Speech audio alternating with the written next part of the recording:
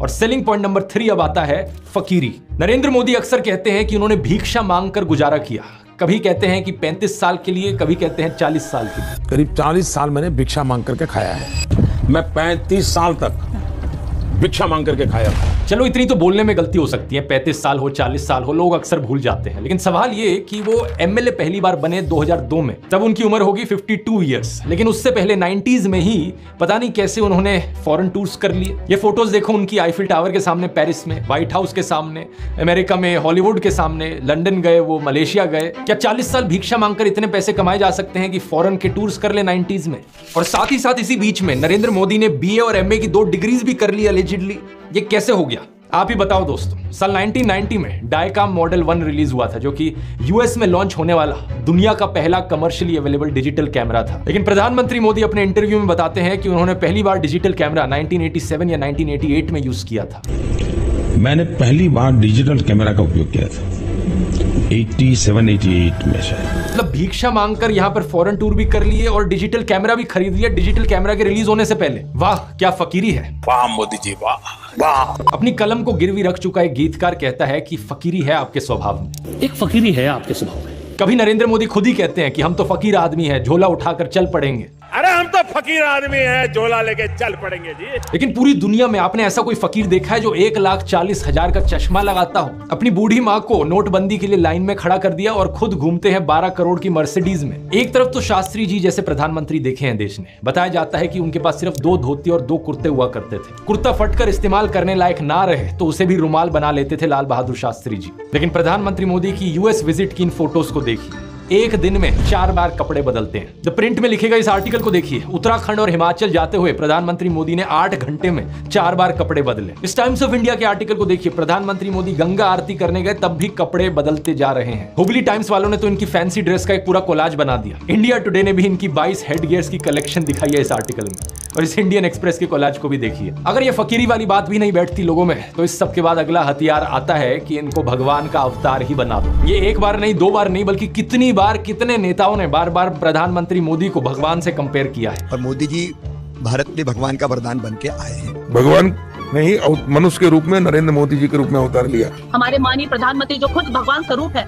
मोदी जी के रूप में श्री रामचंद्र ने जन्म लिया है। मोदी जी है ना साक्षात भगवान महाकाल जी का अवतार है। मोदी राम और अमित शाह कृष्ण अरे कुछ लोग तो मंदिर भी बनाने लग गए। पुणे में एक बीजेपी वर्कर ने नरेंद्र मोदी के लिए मंदिर बना दिया। गुजरात में इनका एक मंदिर बना। तमिलनाडु में इनके लिए एक मंदिर बना। क्या मज़ाक चल रहा है ये? इकलौते नेता नहीं है जिन्हें भगवान से कंपेयर किया जाता है। एक समय पर एडोल्फ हिटलर को भी जीसस से कंपेयर किया जाता था। राजनीति में हिटलर की एंट्री की तुलना की जाती थी जीसस के रिजरेक्शन से। लेकिन उस समय ये सवाल उठा कि ये बात जमेगी कैसे? जीसस तो शांति की मूर्त थे। सूली पर भी चढ़ाया गया उन्हें, तब भी उनके दिल में कोई नफरत नहीं थी। बोले कि, हे भगवान, उन्हें माफ़ करना। जबकि हिटलर तो नफरत का सौदागर था तो कैसे जीसस का इस्तेमाल किया जाए नफरत फैलाने के लिए और हिटलर को उससे भी कंपेयर किया जाए? इसके लिए हिटलर और नाजी लोगों ने बाइबल को ही बदल डाला। मज़ाक नहीं कर रहा, ओल्ड टेस्टमेंट जो थी बाइबल की, उसे ही हटा दिया गया उनके समय में। जीसस को इस तरीके से चित्रित किया गया कि वो ऐसा लगे कि वो यहूदियों के खिलाफ लड़ने वाले एक फाइटर हो। सिमिलरली बीजेपी के लोग बार बार नरेंद्र मोदी को भगवान का अवतार करके पुकारते हैं। लेकिन यहाँ भी दिक्कत वही आ जाती है कि नरेंद्र मोदी तो नफरत फैलाते हैं, लेकिन श्री राम की सूरत में दिखती है विनम्रता, सौम्यता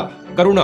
राजा रवि वर्मा की इस आइकॉनिक पेंटिंग को देखिए, राम दरबार, जो कि हमारे देश के करोड़ों घरों में लगी हुई है। इस प्रॉब्लम का समाधान ढूँढने के लिए इनके लोगों ने राम की सूरत बदलनी शुरू कर दी। पिछले कुछ सालों में आपने देखा होगा ये एंग्री हनुमान और एंग्री राम की आइकॉनोग्राफी गाड़ियों के पीछे इसे लगाया जाता है, ये दर्शाने के लिए की ये है असली में भगवान राम। चरित्र ही बदल दो भगवान का। रामायण में मुसलमानों का कोई ज़िक्र नहीं है, लेकिन इन लोगों ने रामायण को भी तोड़ मरोड़ दिया अपने नफरत खोर एजेंडा के लिए। 2016 में एक बीजेपी एमपी ने कहा कि मुसलमान तो रावण के डिसेंडेंट्स हैं। व्हाट्सएप माफिया वालों ने हमारे हिंदू स्क्रिप्चर्स में एक झूठा कोट इंसर्ट कर दिया, धर्म, हिंसा तथैव जो चीज़ किसी वेद पुराण में नहीं थी, किसी रामायण महाभारत में नहीं थी, इन्होंने ज़बरदस्ती अपना नफरत खोर एजेंडा बीच में घुसा दिया उस धर्म, हिंसा तथा आपको जान करके आनंद होगा कि ये किसी भी ग्रंथ में कहीं पर भी नहीं लिखा हुआ है। और इससे आपके रोंगटे भी खड़े हो जाने चाहिए कि ये कौन सी सेंट्रलाइज्ड कॉन्स्पिरेसी यूनिट है, जो इतनी बड़ी बड़ी साजिशें करती है कि जो बात धर्म ग्रंथ में लिखी भी नहीं हुई है, उसको संस्कृत में लिख करके उसको चारों तरफ़ व्हाट्सएप से और दूसरे जरियों से फैला देती। सच तो यह है दोस्तों की ये लोग हमारे हिंदू धर्म को ही तोड़ने मरोड़ने लग गए अपने नफरत खोर एजेंडा को फैलाने के लिए। लेकिन अब बहुत से हिंदुओं को इनका एजेंडा समझ में आ गया है। इस तरीके का हमारे धर्म के साथ खिलवाड़ करना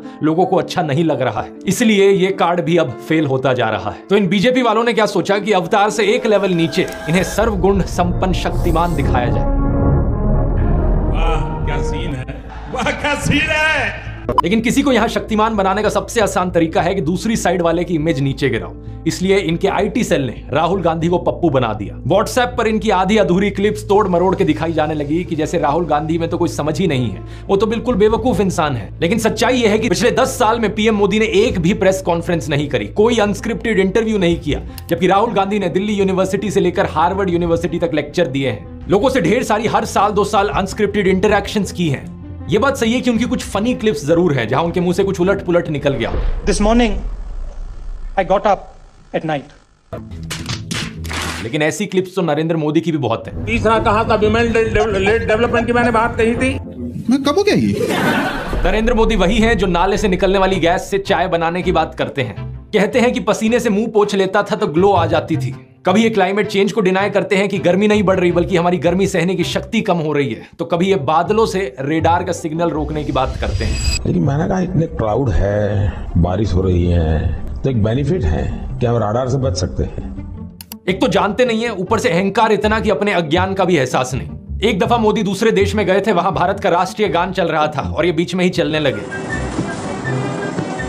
ऐसी गलती किसी से भी हो सकती है, लेकिन बात मैं यहाँ पर यह बताना चाह रहा हूँ कि प्रधानमंत्री मोदी की भी फनी क्लिप्स बहुत सारी हैं। दूसरों को पप्पू बोलने से पहले अपनी क्लिप्स पर नज़र डाल लो। पप्पू को हारने का डर लग रहा है।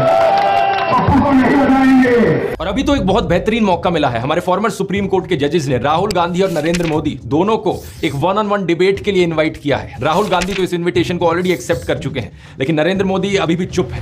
अगर ऐसा होता है तो जनता के लिए भी एक बड़ा सीधा मौका होगा देखने का कि नरेंद्र मोदी और राहुल गांधी में से कौन ज़्यादा समझदार है, कौन ज़्यादा इंटेलिजेंट है और कौन ज़्यादा केपेबल लीडर है देश के लिए। लेकिन नरेंद्र मोदी अगर इस डिबेट से भागते हैं और जवाब ही नहीं देते तो समझ जाना कौन यहाँ पर बेहतर है। इस कल्ट ऑफ़ पर्सनैलिटी में प्रधानमंत्री मोदी का सबसे बड़ा कार्ड है, सब जगह फ़ोटो चिपकाओ बचपन में मैं सोचता था कि ये कोका कोला जैसी ड्रिंक्स की एड्स क्यों आती हैं टीवी पर? हर कोई तो जानता है कि कोका कोला क्या है। बाद में मुझे समझ आया कि out of sight is out of mind यानी नज़र से बाहर तो दिमाग से बाहर। और इसकी उल्टी एक टैक्टिक है। जितना नज़र में रहोगे उतना लोगों के दिमाग में घुसोगे। अखबार पर नरेंद्र मोदी रेडियो पर नरेंद्र मोदी टीवी चैनलों पर नरेंद्र मोदी फेसबुक पर नरेंद्र मोदी पेट्रोल पंप की होर्डिंग्स पर नरेंद्र मोदी सड़क पर पोस्टर छपे हैं गूगल एड्स पे करोड़ों खर्च करके अपना चेहरा दिखा रखा है हर एक सरकारी स्कीम के इश्तिहार पे। अरे ये सब तो छोड़ो कोविड वैक्सीन के सर्टिफिकेट पे भी नरेंद्र मोदी। सेल्फी पॉइंट्स तक बना डाले इन्होंने जगह जगह 2022 की इस रिपोर्ट को देखिए। आईएनबी मिनिस्ट्री ने बताया कि सरकार ने आठ सालों में 6,400 करोड़ से ज़्यादा रुपए खर्च किया एडवर्टीजमेंट्स पर। हर रोज का इकहत्तर लाख रुपए तो अखबारों में ऐड देने में लगा दिया। और ये सब तो सरकारी पैसे से चलने वाली एड्स थी। इसके अलावा जो पार्टी फंड से चलने वाली एड है, वो अलग। और गोदी मीडिया के एंकर जो दिन रात चाटुकारिता करते हैं, वो अलग। हर जगह नरेंद्र मोदी। एक गायक थे जिम मॉरिसन। उन्होंने कहा था कि जो मीडिया को कंट्रोल करता है, वो दिमाग को कंट्रोल करता है। लेकिन एक और सिंगर थे, बॉब मार्ले। उन्होंने कहा था कि हर वक्त हर किसी को बेवकूफ़ नहीं बनाया जा सकता। और अब यही हो रहा है कि हर तरफ़ मोदी का चेहरा देखकर लोग उकता गए हैं। और ये जो वॉर रुकवाने वाली कहानियाँ हैं इन पर पूछा जा रहा है कि इतनी ही वॉर रुकवाने वाले हो तो मणिपुर की हिंसा क्यों नहीं रुकवा देते? इलेक्ट्रॉन बॉन्ड का पैसा है कहीं तो यूज़ होगा। किसी एक्टर को उठा के बेटी बना देंगे पापा ने वॉर रुकवा दी। पापा मणिपुर के दंगे क्यों नहीं रुकवाते? लोग पूछ रहे हैं कि भारत में सब चंगा सी है तो 2022 में सब रिकॉर्ड तोड़ते हुए सवा दो लाख लोगों ने भारतीय नागरिकता क्यों छोड़ दी? इस मोदी मैजिक के खत्म होने का सबसे बड़ा सबूत यही है कि बीजेपी को दूसरी पार्टियों के उन नेताओं को अपनी पार्टी में लाना पड़ रहा है, जिन पर भ्रष्टाचार के एक से बढ़कर एक आरोप लगे। अगर मोदी मैजिक अब सही में बचा होता तो मोदी के नाम से ही चुनाव जीता जा सकता था। इन बाहर के नेताओं को लाने की ज़रूरत नहीं थी अपनी पार्टी में। ये झूठ, डर और नफरत फैलाने की ज़रूरत नहीं थी। इस वीडियो में तो मैंने आपको नरेंद्र मोदी का वो चेहरा दिखाया है, जो व्हाट्सएप माफिया आपको दिखाता रहता है। अगले वीडियो में मैं आपको दिखाऊँगा उनका असली चेहरा, उनके माइंड में क्या क्या चलता रहता है। यहाँ मैं आप लोगों का धन्यवाद करना चाहूँगा क्योंकि आप लोग इतने जज्बे के साथ इनकी इस झूठ और नफरत की फैक्ट्री को तबाह करने में लगे हुए हो। हमारे इस मिशन हंड्रेड करोड़ पर लगे रहिए। ये देखकर खुशी होती है कि किसी का कमेंट आता है, ये कहते हुए कि आपने एक वीडियो को 850 लोगों के साथ शेयर किया व्हाट्सएप पर। कहीं पता चलता है कि प्रोजेक्टर स्क्रीन पर दिखाकर आप वीडियो चला रहे हो, राजस्थान की गलियों से लेकर वेस्ट बंगाल तक। किसी ने टीवी लगा दिया बाहर मुंबई में ताकि लोगों तक सच पहुँचाया जा सके। इसी तरीके से लगे रहो। हमें देश के लोकतंत्र को बचाना है, देश के संविधान को बचाना है। वोट करने ज़रूर जाना और अपने आसपास के दस लोगों को कन्विंस करना वोट करने के लिए। वोट करना इस नफरत और झूठ के खिलाफ। मुझे यकीन है कि हम इकट्ठे मिलकर देश को बचा लेंगे। अगर आपने इस ब्रेन वॉशिंग माफिया के चारों डिपार्टमेंट्स के बारे में पहली बार सुना है तो इस वीडियो को ज़रूर देखिए। यहाँ पर मैंने शुरुआत से समझाया था पहले डिपार्टमेंट के बारे में। क्लिक करके देख सकते हैं। इनकलाब जिंदाबाद।